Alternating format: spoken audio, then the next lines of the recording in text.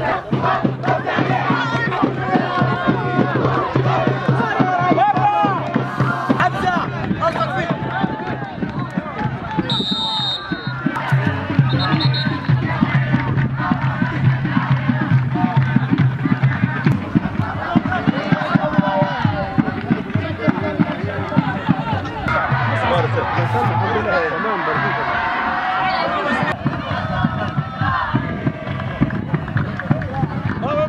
اليوم نتحدثكم من داخل مدينة جالو من الدوري التنشيطي المقام في مدينة جالو خاص بخط اتحاد فريق خليج سرت المباريات الآن مشاركة فيها جميع أندية جالو أوجلا وشخرة ومن البريقة مقامة فئات السنية شبال براعم وأواسط كلهم يلعب عرضية هذا الملعب.